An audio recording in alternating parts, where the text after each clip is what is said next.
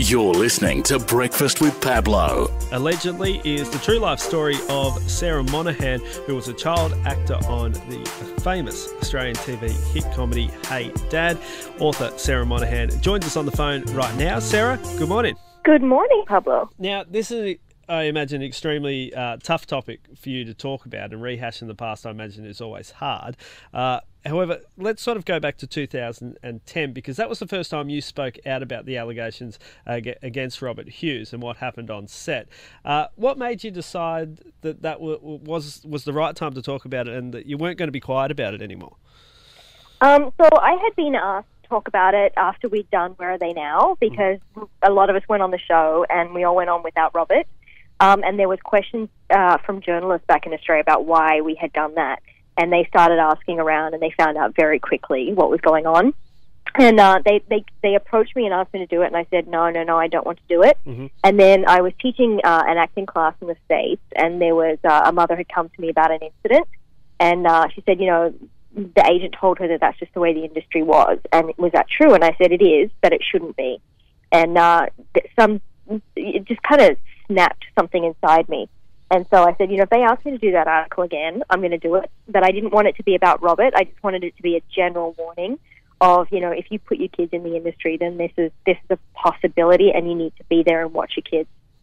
Now, you, along with other Five Cast members from Hey Dad, then spoke up about what happened on a current affair. And I remember watching that and I was just in shock.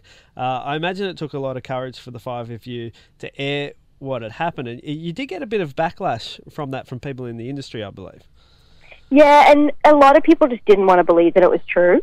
And then, of course, a lot of people in the industry don't want secrets from the industry coming out and so there was there was a lot of anger, and then of course I think there was also just some straight up jealousy from other networks that mm-hmm. you know a current affair had got the story and they didn't. Um, you know how rivalries work in, mm-hmm. in you know the media, but yeah, a lot of people were not happy when we told the story. Now, Hughes was arrested, thankfully, in London in August 2012. He was sent back to Australia, faced charges in April 2014, and was found guilty of sexually abusing young girls. He received a sentence of 10 years, 9 months imprisonment, with 6 years non parole. What was that feeling like when it was hand, handed down? Was it relief?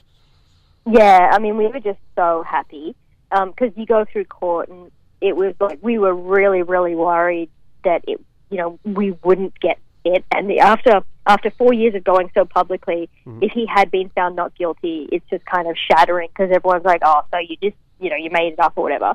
And so we were really really pleased when the jury you know, could see that we were all telling the truth and they found him guilty. Now, the book allegedly is now on bookshelves and people can find out more info through sarahmonahan.com.au. Was it, was it therapeutic uh, getting it all down on paper? Yeah, yeah, it was so great being able to write it all down. And I think even if someone isn't famous and they're never intending to sell a book, that they should go ahead and write it. Um, just because you have to work through those emotions, you have to put it down, you have to let the words out, and once you acknowledge it and deal with it, it's like the best therapy you could ask for. Now, you started in the industry when you were six, so this this book really covers uh, your entire childhood and life. Yeah, yeah, it goes right. Actually, it goes right from my birth, oh. um, and I go all the way through up to uh, about six weeks ago. Until six weeks ago, right? And uh, I, have got a, the the cover's great, and the the photo of you uh, in your little pigtails. You didn't want to keep that look going ahead. No, I actually always keep a pixie now, just because every time my hair grows out, I start to look like Jenny again, and I just don't want to look like it. So I always, I always do the the short hair.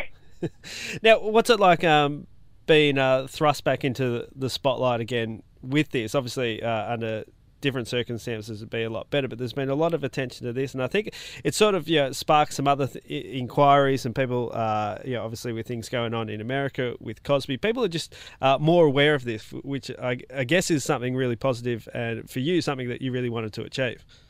Yeah, because when I came out, like six years ago, it was just a no-no subject. Like you didn't talk about it, and if you tried to talk about it, people said, "Look, we just don't. That's not polite." You know, we don't talk yeah. about that in public. And the last couple years, especially, and you know, in Australia with the Royal Commission, and in the states with Cosby, and you know, even outside of the industry with like Penn, uh, uh, the the Penn State scandal and all that, people are really starting to talk about it.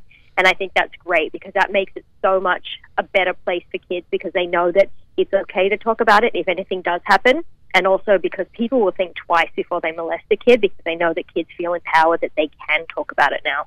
Sarah, thanks for taking your time out today. I know it's very hard to, uh, to talk about it and rehash uh, hash the past, but uh, it's a, a topic that needs to be discussed, and it's great that you're shedding light on it. Thank you. Classic Gold, today's hits. Spirit.